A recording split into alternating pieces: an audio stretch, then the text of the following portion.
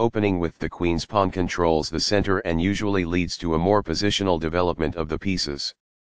The Indian game begins by controlling the important e4 square with the knight, rather than a pawn. c4 builds a strong center by controlling the important d5 square and creates a square for the knight to come to c3 without blocking the c-pawn. The king's Indian defense prepares to develop the bishop to g7, allowing white to build up a strong center which black will later try to undermine. And c3 prepares the e2-e4 pawn push and helps control the d5 square. The GRA 1/4 Enfeld defense uses this pawn push to gain space in the center and attack the c4 pawn.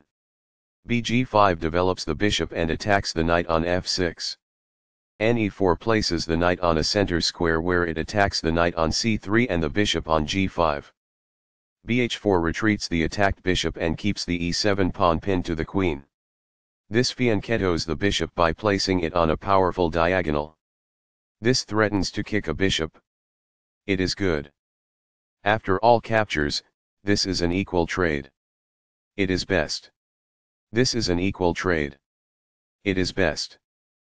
This maintains the balance in material with a good trade. It is best. This develops a queen off its starting square, getting it into the action. It is best. This prepares the bishop for development. It is good. This offers to exchange pieces of equal value. It is the last book move. After all captures, this is an equal trade. It is good. Takes back. It is best.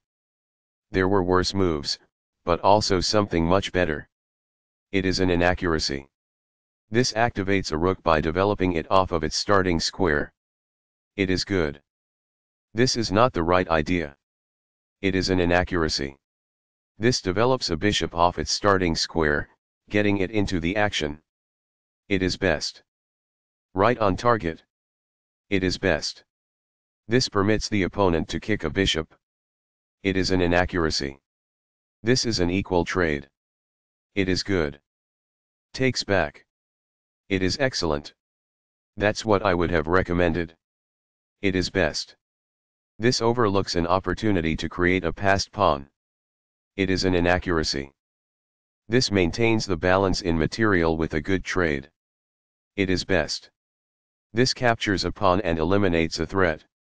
This threatens to capture a piece while defending against a new threat. It is excellent. This threatens to win a knight. This prevents the opponent from being able to create a passed pawn. It is best. This connects the rooks, which helps them coordinate together in the future. This is the only good move. It is a great move. This wins a pawn. It is best. Recaptures. It is best. This captures a vulnerable knight. It is best. Takes back. It is best. Recaptures. It is best. Balanced neither player ever had an advantage. That game was pretty competitive. Both players had an amazing opening. That was an incredible middle game by both players.